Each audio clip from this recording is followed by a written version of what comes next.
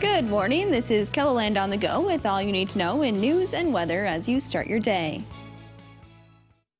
Students were evacuated from the Miller, South Dakota High School yesterday following an explosion in the ag workshop. It is still unknown what caused the explosion, but the DCI and emergency officials in Miller are working to figure that out.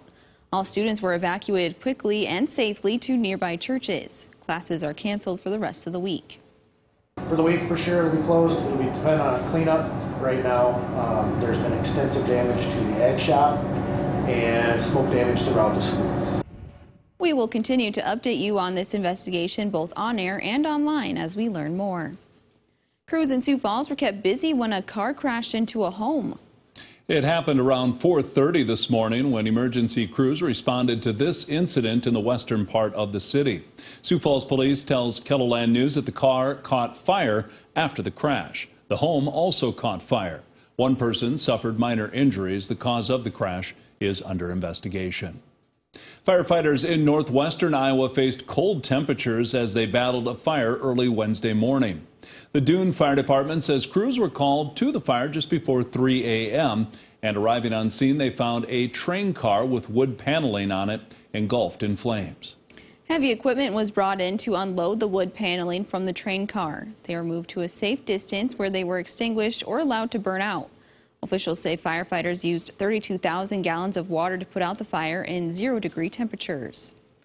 Well, turning to weather now with meteorologist Scott Munt. Cold again, but will warm as we approach the weekend, Scott. Well, we are looking at that warmer air to come in by Saturday, and with it, temperatures may hit the 50s across parts of uh, southeastern KELOLAND. We do have that going in our forecast, but in the meantime, it's cold for today. Temperatures will slowly get above zero as we hit the afternoon. Expect numbers into the middle teens in southeastern KELOLAND.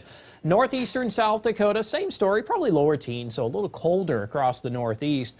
And for central South Dakota, temperatures will eventually hit the mid 20s today. And western KELOLAND, a little warmer. Temperatures in the lower 30s for Rapid City. And that will happen with mostly sunny skies.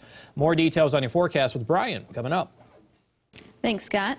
During the pandemic, it has been harder for new parents to connect with resources in the community. For caregivers of children ages 0 to 2, a new playgroup program at the Children's Museum will help them not only play with their kids and interact with others, but also connect with valuable resources in Brookings. And so parents get to come with their children for an hour to come and explore age appropriate play, be able to learn different types of TheraPlay strategies to build a sense of nurture and engagement and structure with their child. They hope that the program will bring awareness to the different organizations and resources for new parents in the community. A pop-up grocery event hopes to make an impact in the community, aiming to address food insecurity and accessibility in Sioux Falls. Later this month, Kristen Johnson will bring items from her salvage grocery store to the Multicultural Center for the event. I'm really excited. I'm always like, hey, let's try it and see how it goes. And I hope that this turns into something that we can do every month. The event is February 16th from 1 to 6 at the Multicultural Center. Smithfield is also donating meat to the event, and South Dakota Urban Indian Health will be hosting a vaccine clinic from 2 to 4. The ninth annual burger battle has come to a close with Chef Lance's on, uh, on Phillips as its victor. The restaurant sold around 1,800 of their Tuscany burger. This is now the second trophy for owner Chef Lance White, who plans on topping this year's performance for the 10th annual Burger Battle next year.